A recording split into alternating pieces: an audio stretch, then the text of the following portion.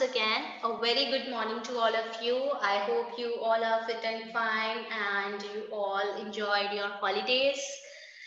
So in our last class, we have discussed about the overview, uh, discussed about the structure of the judiciary and we had seen the overview of the, the jurisdiction of Supreme Court of India. There are four types of jurisdictions under Supreme Court of, of India that is original, uh, original jurisdiction, writ jurisdiction, appellate jurisdiction and advisory jurisdiction. Today we are going to discuss about these types of jurisdictions elaborately one by one. Okay. So first type of jurisdiction is original jurisdiction.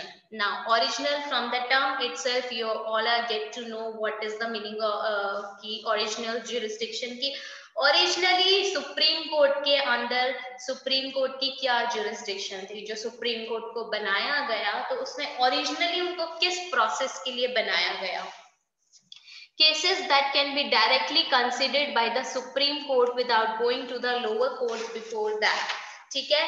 आप lower courts में जाए बिना higher courts में जाए बिना ठीक है? आपको लोअर कोर्ट्स में उसमें जाने की ज़रूरत नहीं है हाई कोर्ट में जाने की ज़रूरत नहीं है। आप डायरेक्टली कोई भी अगर ऐसा केस होता है जो सुप्रीम कोर्ट के सामने आ, आ, केस फ़ाइल कर सकते हो तो वो ऐसे केसेस कौन से हैं? नॉर्मली आप तो सोचोगे मैम हर एक स्टेट में अपना हाई कोर्ट होता है ठीक है? अगर डिस्ट्रिक्ट कोर्ट भी नहीं देख पाता तो वो हाई कोर्ट उसको हैंडल कर सकता है। But what if two states अगर दो स्टेट्स के बीच में कोई प्रॉब्लम अराइज हो जाती है ठीक है?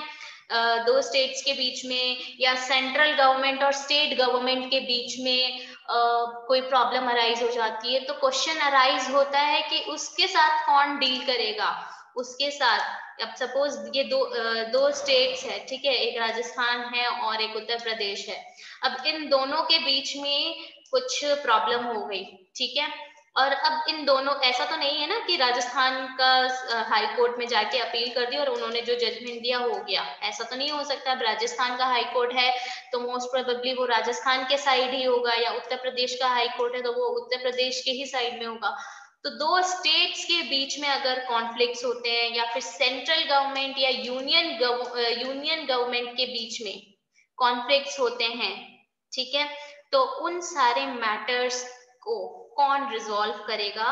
तो उन सब मैटर्स को सुप्रीम कोर्ट रिजॉल्व करेगा and you can directly go to the supreme court. अगर दो स्टेट्स के बीच में या सेंट्रल गवर्नमेंट या यूनियन गवर्नमेंट के बीच में कोई भी कॉन्फ्लिक्ट अराइज होता है तो ठीक है? या गवर्नमेंट कोई गवर्नमेंट जो है कॉन्स्टिट्यूशन का वायलेशन करती है, ठीक है? कॉन्स्टिट्यूशन में कुछ लिखा है और कॉन्स्टिट्यूशन के अलावा गवर्नमेंट ट्राई करती है कुछ काम करने का, उसके उसको वायलेट करते हुए काम करने की कोशिश करती है तो that cases can directly move to the supreme court ठीक है? सुप्रीम कोर्ट को इसीलिए, जैसे एक एग्ज़ाम्पल देती हूँ, आपका स्टेट गवर्नमेंट का आप सबने कावेरी डिस्प्यूट्स के बारे में सबने सुना होगा ठीक है? अब कावेरी डिस्प्यूट की कावेरी का पानी कौन सी स्टेट लेगा ठीक है? कौन सी स्टेट कितना पानी लेगा? तो इन, इनके बीच में काफ़ी टाइम से डिस्प्यूट चला रहा है। तो अब इस डिस्प्यूट को कौन रिजॉल्व करेगा? Who will who will handle और who will resolve the dispute of Kaveri water Tamil Nadu high court और Karnataka high court both the high courts क्या करेंगे? Uh, अपने अपने स्टेट्स का ही साइड लेंगे ठीक है? अब तमिलनाडु हाई कोर्ट बोलेगा नो तमिलनाडु के पास ज़्यादा पानी आना चाहिए. कर्नाटका हाई कोर्ट बोलेगा नहीं कर्नाटका के पास ज़्यादा पानी आना चाहिए. तो अब इन दोनों के डिस्प्यूट्स को डायरेक्टली कौन हैंडल कर रहा है? सुप्रीम कोर्ट हैंडल कर रहा है, ठीक है? यहाँ पे ना ही हाई कोर्ट ना ही डिस्ट्रिक्ट कोर्ट ना ही हाई कोर्ट यहाँ पे इशू को रिजॉल्व करेंगे। ये डायरेक्टली ये ना हाई कोर्ट का केस है, ना ही डिस्ट्रिक्ट कोर्ट का है, ये केस डायरेक्टली किसका है? सुप्रीम कोर्ट का है, ठीक है? Next Uh, the original jurisdiction of the Supreme Court establishes it as an um, umpire in all disputes regarding federal matters. अब देखिए federal matters again federal matters में आपका आ गया union government state government and local government ठीक है तो एक अंपायर की तरह वर्क करता है। जो आपका सुप्रीम कोर्ट है, वो एक अंपायर की तरह वर्क करता है। वो जो डिस्प्यूट्स है फेडरल मैटर्स के, जैसे कि चाहे वो यूनियन गवर्नमेंट स्टेट गवर्नमेंट्स का हो या स्टेट गवर्नमेंट्स के बीच का हो, या गवर्नमेंट कोई कॉन्स्टिट्यूशन का वायलेशन कर रहा है। कॉन्स्टिट्यूशन में कुछ लिखा, कुछ और है और उसके अगेंस्ट में कुछ वर्क कर रहा है। तो उस, वो वाले केसेस डायरेक्टली कहा जाएँगे? सुप्रीम कोर्ट में जाएँगे। एंड द केसेस uh, जो आपका आर्टिकल uh, 32 में गिवन है आपका कि आप वायलेट करते हो फंडामेंटल राइट्स को किसी भी इंडिविजुअल के फंडामेंटल राइट्स को वो भी क्या है? वो भी सुप्रीम कोर्ट में जाएँगे violation of fundamental rights so these are the three main three main things three main cases which can directly move to the supreme court ठीक है? And this is known as original jurisdiction okay now next is why it is called original jurisdiction? कि question होता है कि इसको original jurisdiction क्यों बोला गया है? Because the supreme court alone has the power to deal with such cases. Very simple. खाली supreme court पास ही ये पावर uh, है कि वो ऐसे cases के साथ डील कर सके ठीक है? स्टेट स्टेट गवर्नमेंट की अगर बीच में डिस्प्यूट हो गया यूनियन और स्टेट के बीच में डिस्प्यूट हो गया या गवर्नमेंट कोई कॉन्स्टिट्यूशनल कॉन्स्टिट्यूशन uh, को वायलेट कर रही है ठीक है? कॉन्स्टिट्यूशनल आइडियाज़ को वायलेट कर रही है तो ऐसे केसेस डायरेक्टली सुप्रीम कोर्ट के थ्रू डील किए जाते हैं that's why it is called the original jurisdiction neither the high courts nor the lower courts can deal with such cases. ना ही हाई कोर्ट के पास ना ही लोअर कोर्ट के पास क्या है ये पावर होती है कि वो इस टाइप के केसेस uh, के साथ डील कर सके okay so in this capacity the supreme court not just settles disputes but also interprets the powers of union and state governments as laid down in the constitution. According to the constitution, Supreme Court also decides the powers of the union and the state governments, okay, and usme interpret bhi kar sakti hai according to the uh, according to the hmm, constitution, according to the rules laid down in the constitution. Uh, his uh, he the, the Supreme Court is not the Supreme Court not just settles disputes but also interprets the power of union and state government as laid down in the constitution and only Supreme Court has this power that's why uh, it is called the original jurisdiction. Now next is writ jurisdiction. Before writ jurisdiction, original jurisdiction में बेटा एक point और add कीजिए जो आपके और federal states हैं, ठीक है? जैसे यूएस के फेडरल स्टेट्स हैं there are 50 federal states in US and each states each state has their own high court तो जितने भी, वहाँ पे जो ओरिजिनल जुरिस्डिक्शन बहुत अच्छी तरीके से देखने को मिलता है, क्योंकि they only settle disputes of uh, disputes that is originally given in their constitution. Okay कि जैसे कि जो मैंने आपको बताया स्टेट स्टेट के बीच में कोई मैटर हो गया स्टेट या यूनियन के बीच में कोई मैटर हो गया they can deal with that matters but India में हम देखते हैं और भी मैटर्स होते हैं जिन जिनको क्या है सुप्रीम कोर्ट डील करते हैं. But originally they can deal with the originally उनको किसके लिए बनाया गया है? For the state state union disputes और टू स्टेट्स के बीच में डिस्प्यूट्स हुए हैं या कॉन्स्टिट्यूशन को वायलेट किया है तो इन, इसी काम के लिए जुरिस्डिक्शन को ओरिजिनली बनाया गया था, सुप्रीम कोर्ट का जो, सुप्रीम कोर्ट को बनाया गया था, उनका जो ओरिजिनल जुरिस्डिक्शन था। ठीक है? Now next further move to writ jurisdiction in our last class also we have discussed about the writs this writs kya hai what are the certain types of writs okay? So habeas corpus mandamus and uh, prohibition quo warranto etc these are some kind of the uh, writs you which you already which you already uh, studied in your earlier chapters. So according to article 32 uh, with, uh, it, it is mentioned one of our fundamental right that is right to constitutional remedies. To protect our other fundamental rights there is one another fundamental right that is constitutional remedies this is a fundamental right which protect our other fundamental rights कि अगर आपसे कोई दूसरे, आपके जितने भी fundamental rights हैं, अगर आपसे आप, वो वायलेट हो रहे हैं और आपको वो फॉलो नहीं करने दे रहे हैं, वो राइट right आपको नहीं मिल रहा है then you can according to this right you can move to the supreme court अब आप मुझे बोलोगे मैम तो डायरेक्टली ये जो है वायलेशन ऑफ़ फंडामेंटल राइट्स वाला पॉइंट ओरिजिनल में क्यों नहीं गया। बिकॉज़ ये वाले जो पार्लियामेंट के पास इतनी पावर है कि वो लोअर गवर्नमेंट्स को भी क्या है, ये पावर दे सकती है कि person can move to the lower government lower court also if his or her fundamental rights are violated ठीक है? तो दैट्स वाई वो ओरिजिनली नहीं है लोअर कोर्ट्स भी उन पे वर्क कर सकती है, इसलिए उसको ओरिजिनल में नहीं डाला है रिट ज्यूरिस्डिक्शन को एक अलग टॉपिक बनाया गया है। सो Uh, any individual whose fundamental right has been violated can directly move to the Supreme Court for remedy. ठीक है डायरेक्टली भी मूव कर सकता है या उसकी um, उसके मन पे निर्भर करता है can move to the high court also after that he can move to the supreme court if he is not satisfied with the uh, decision of supreme court then he can move to the sorry uh, if he is not happy with the decision of the high court then he can move to the supreme court okay? But he uh, he, he, uh, he or she also has the right to move to the supreme court if his or her fundamental right has been violated okay?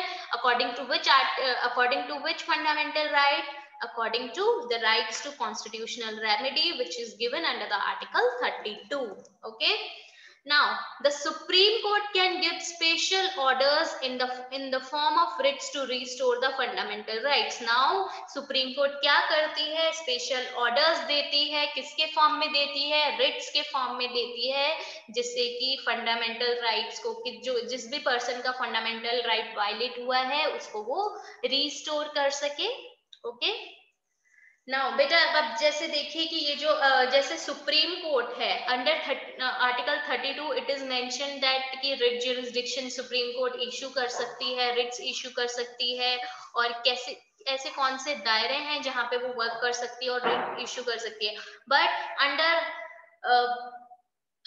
under article one sorry under article 226 it is mentioned that high courts can also issue writs article 226 में भी ये given है कि high courts भी writs को issue कर सकती है but the person whose rights are violated have the choice of either approaching the high court or approaching the supreme court directly I already told you this a person has both the choices he can move to the high court और he can move to the supreme court और he can approach to the supreme court according to his choice कि वो जाना कहाँ पे चाहता है। तो हाई कोर्ट्स के पास भी according to article 226 high courts के पास भी ये पावर है कि वो रिट्स को इश्यू कर सके। Through such writs the court can give orders to the executive to act or not to act in a particular way what type of writ is there ठीक है according to that the court can give orders to the executive to play his or her role or act according to the writ or according to the type of the writ uh, issued by the Supreme Court or High Court. So this is all about writ jurisdiction. You all know about the types of writs. ठीक है तो Supreme इसको original jurisdiction में इसलिए नहीं दिया है because lower courts high court के पास तो ये पावर uh, है कि वो रिट्स इश्यू कर सके but lower court high court से भी जो सबऑर्डिनेट कोर्ट है उनके पास भी ये पावर आ सकती है if parliament think about it okay now our next type of writ is appellate jurisdiction now what is the meaning of appellate appellate if I say you in if I say you in the simple language the meaning of appellate means to apply ठीक है? So as you all know supreme court is the highest court of appeal and the highest court highest court apex court और guardian of our constitution there are so many terms we use for the supreme court of India तो highest court है appeal करने के लिए. That's why a person can appeal to the supreme court against the decision of the high court Whatever person, if he is not he or she is not happy with the decision of the High Court, then he can move to the Supreme Court. He can appeal to the Supreme Court. Okay, but a question arise hota hai High Court must certify that the case is fit for appeal. ठीक है अब तो आप बोल सकते हो कि ma'am अगर परमिशन लेनी ही पड़ेगी उस पर्सन को हाई कोर्ट से कि आप सुप्रीम कोर्ट में अपील कर सकते हो तो हाई कोर्ट के जजेस उनको परमिशन क्यों देंगे? वो अपने डिसीज़न के खिलाफ उनको मतलब उनके डिसीज़न के खिलाफ ही अगेंस्ट में ही तो सुप्रीम कोर्ट में अपील की जा रही है। तो वो क्यों ऐसे अपील करने के लिए परमिशन देंगे?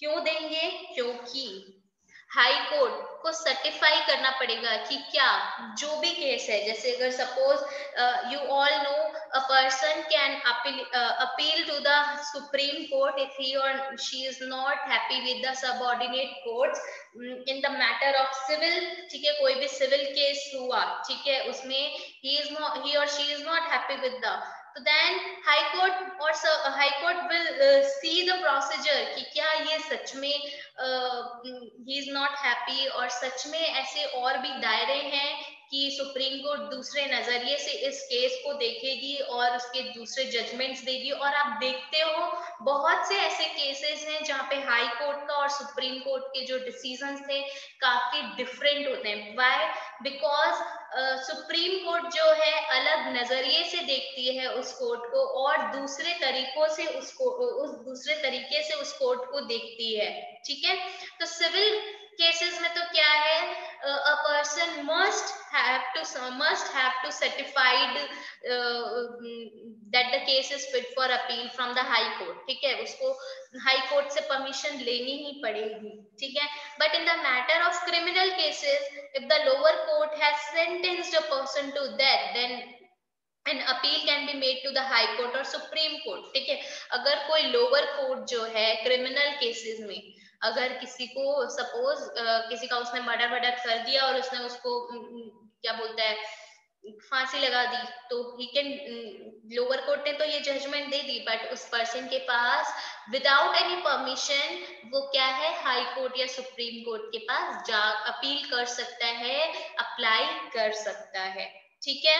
But in civil cases he must the high court must certified that the case is fit for appeal okay क्योंकि अगर सुप्रीम कोर्ट के पास जाना ही नहीं है तो वो हाई कोर्ट के पास जाए बिना वो सुप्रीम कोर्ट के पास नहीं जा सकता। ठीक है? So next is what is the meaning of what is appellate jurisdiction the supreme court will reconsider the case and legal issues involve in it why? जो सुप्रीम कोर्ट जो है, वो रिकंसिडर करती है केस को कि क्या कोई लीगल इश्यूज़ इसमें इन्वॉल्व है? क्या हम और दूसरे तरीके से इस केस को देख सकते हैं या जजमेंट दे सकते हैं? सुप्रीम कोर्ट देखती है कि लीगल इश्यूज़ इन्वॉल्व है, उसको रिकंसिडर किया जाता है, तभी क्या है, उस अपील को एक्सेप्ट किया जाता है। So this is called appellate jurisdiction Now, if the court thinks that the law, law or the constitution has a different meaning from what the lower courts understood, then the Supreme Court will change the ruling and along with that also give new interpretation of the provisions involved.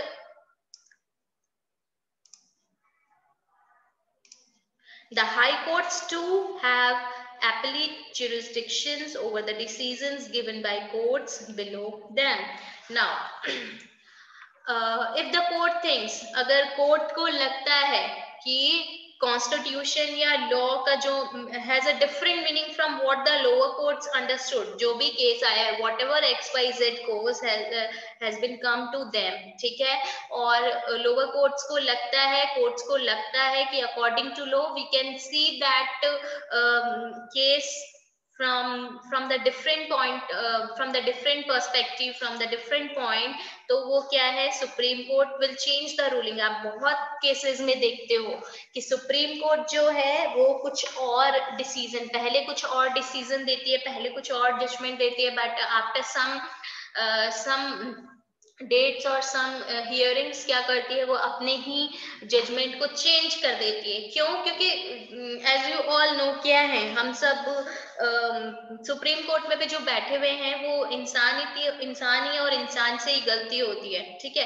तो supreme court से भी अगर गलती हो सकती है तो वो according to constitution according to law देखता है कि जो भी केस आया है, ठीक है? वो लीगली सूटेबल है कि नहीं है? क्या हमने उसको गलत तरीके से समझ लिया है? और उसके अकॉर्डिंग वो अपनी रूलिंग भी चेंज कर सकता है और with that also give new interpretation और न्यू इंटरप्रिटेशन भी जो है वो दे सकता है। ठीक है? ऑफ़ द प्रोविज़न इन्वॉल्व जो भी प्रोविजंस हैं, उसमें अपना न्यू इंटरप्रिटेशन दे सकता है न्यू जजमेंट्स दे सकता है। The high courts to have appellate jurisdiction over the decisions given by courts below them उनसे नीचे के जो courts हैं lower courts जो हैं subordinate courts जो हैं high courts to have the right of appellate jurisdiction okay over the decisions given by the subordinate courts ठीक है just like uh, high courts uh, supreme court के पास appellate jurisdiction है that just like that high court to have the appellate jurisdictions over the decisions given by the subordinate courts lower courts or whatever the courts below them okay now our next type of jurisdiction is advisory jurisdiction now from the term itself advice ठीक है advice क्या दायरा है advice देने का या लेने का दायरा है एडवाइजरी जुरिस्डिक्शन अंडर आर्टिकल 149 ठीक है? आपने प्रेसिडेंट के बारे में जब पढ़ा है तो उसमें सुना होगा आर्टिकल 149 के बारे में। अंडर आर्टिकल 149 ये जो एडवाइजरी जुरिस्डिक्शन है, उसके बारे में मेंशन किया गया है। It means that the president of India can refer any matter that is of public importance और which involve interpretation of constitution to Supreme Court for advice. Now, जो भी प्रेसिडेंट है इंडिया के वो पब्लिक इम्पोर्टेंस के जो matters हैं या फिर अगर कॉन्स्टिट्यूशन में कोई इंटरप्रिटेशन करनी है उसके लिए सुप्रीम कोर्ट से एडवाइस ले ले सकते हैं। नाउ अब ये जो कुछ टर्म्स जो है, उनको ध्यान में रखना, ठीक है? While writing the definition of advisory jurisdiction कुछ कॉन्स्टिट्यूशनल टर्म्स हैं like public importance if you write these terms in your definition तो आप आराम से your you can gain the mark okay so public importance which involve interpretation of constitution to supreme court for advice. Now president of india can refer matter that is of public importance public importance की बात होनी चाहिए ठीक है? कि public की public के अच्छाई के लिए या फिर आ, कुछ ऐसे चेंजेस लाना चाहते हैं जिससे कि हमारे समाज में सुधार आए तो उसके लिए प्रेसिडेंट क्या है? सुप्रीम कोर्ट से एडवाइस ले सकती है। और इंटरप्रिटेट करना है अगर कॉन्स्टिट्यूशन को तो वो इंटरप्रिटेट करने के लिए भी एडवाइस ले सकती है। अब देखना बेटा क्वेश्चन क्या अराइज होगा? कि ठीक है, ये प्रेसिडेंट ने एडवाइस ले ली, सुप्रीम कोर्ट ने एडवाइस दे भी दी but it is not necessary कि प्रेसिडेंट जो भी सुप्रीम कोर्ट ने एडवाइस दी है, उसको फॉलो करे, ही करे। या supreme court is not bound to give वो रिस्ट्रिक्टेड कोई ऑब्लिगेशन नहीं है कि सुप्रीम कोर्ट को एडवाइस uh, देनी ही देनी है। प्रेसिडेंट ऑफ़ इंडिया ने बोल दिया तो uh, हम तो बाउंड हो गए या फिर हमें तो हमें तो ऑब्लिगेशंस लग गई लग गई कि हमें देनी है। No the supreme court is not bound to give advice on such matters and the president is not bound to accept such an advice और प्रेसिडेंट भी कोई प्रेसिडेंट uh, के ऊपर भी कोई ऑब्लिगेशन नहीं है कि सुप्रीम कोर्ट ने बोल दिया तो मुझे ये काम अब करना ही पड़ेगा। नो उसके, ये कोई बाउंडेशन नहीं है, कोई भी ऑब्लिगेशन नहीं है, ये बिल्कुल मैंडेटरी नहीं है कि सुप्रीम कोर्ट एडवाइस दे ही दे, और अगर दी है तो प्रेसिडेंट उस एडवाइस को माने ही माने। It is not mandatory at all so question arises, then what is the utility of utility of the advisory powers of the supreme तो जो ये एडवाइजरी पावर्स हैं, उनकी क्या यूटिलिटी है? क्या उसकी वैल्यू है? क्या, क्यों ज़रूरी है सुप्रीम कोर्ट को सुप्रीम कोर्ट की एडवाइजरी जो ये पावर्स है, उसकी क्या ज़रूरत है?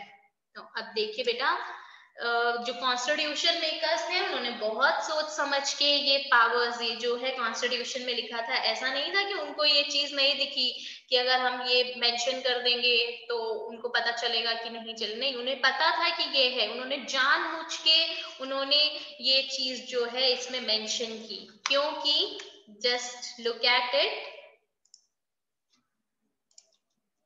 The utility of advisory power of the Supreme Court is twofold. Twofold है Supreme Court की जो utility है advisory powers की it is of twofold.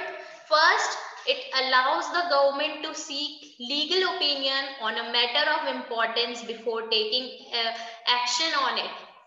This may prevent unnecessary litigations later now ये गवर्नमेंट को एक लीगल ओपिनियन होता है। नॉर्मल केसेस में भी आपने सोचा होगा या आपने कभी घर पे सुना होगा या मूवी में देखा होगा कि एक लीगल ओपिनियन ले लेते हैं। तो just like that supreme court sorry president also take the take the legal opinion from the supreme court कि अगर if whatever X Y X Y Z like amendment we do और the action we take तो उसके क्या for example suppose government को कुछ जो किसान हैं, उनके खेतों की ज़रूरत है फॉर व्हाट पर्पस कि उनको वहाँ पे सड़क बनानी है, ठीक है? तो क्या करेगा? प्रेसिडेंट ने सोचा कि हम सुप्रीम कोर्ट से एक बार ना एडवाइस ले लेते हैं कि इससे किसान के जो है फंडामेंटल राइट्स तो वायलेट नहीं होंगे। कोई अननेसेसरी लिटिगेशन जो है हम पे बाद में अननेसेसरीली कुछ ऐसे तो नहीं होगा कि आपने ये इससे फंडामेंटल राइट्स वायलेट हो रहे हैं और ये आपने कोई लीगली वर्क नहीं किया है। तो एक लीगल ओपिनियन के लिए क्या करती है गवर्नमेंट क्या करते हैं प्रेसिडेंट वो एडवाइस uh, लेना क्या करते हैं? प्रिफर करते हैं सुप्रीम कोर्ट से कि जिससे कि बाद में जो है अननेसेसरी उन पे क्या है आरोप ना आए अननेसेसरी कोई लिटिगेशन ना लगे ठीक है? Now, second one is in the light of the advice of the Supreme Court, the government can make suitable changes in its actions or legislation. और supreme court as you all know कि supreme court the highest court है तो laws वगैरह जो है legal actions वगैरह जो है, उनको बहुत अच्छे से पता है। तो एक सुप्रीम कोर्ट से अगर वो एडवाइस ले लेते हैं तो गवर्नमेंट क्या है, जो भी सूटेबल एक्शंस हैं, जो लीगली हम कर सकते हैं, वो suitable actions the government can make suitable actions according to the according to constitution according to the um, according to the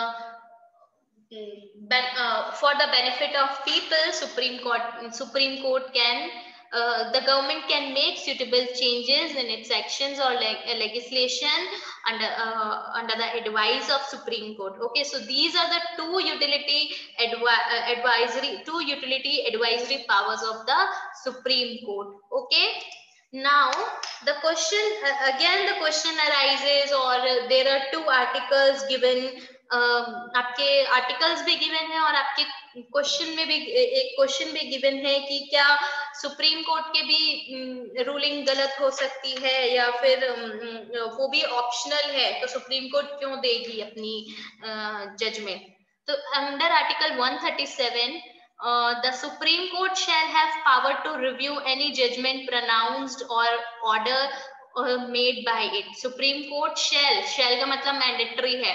तो under article 137 it is mention that supreme court के पास ऐसी पावर है कि वो रिव्यू कर सकता है कोई भी कोई भी जजमेंट जो प्रोनाउंस की गई है कोई भी जजमेंट उसने जो दी है आपको मैंने पहले भी बताया कोई भी जजमेंट उसने दी है उसको वो रिव्यू कर सकता है और उसको चेंज भी कर सकता है। ठीक है?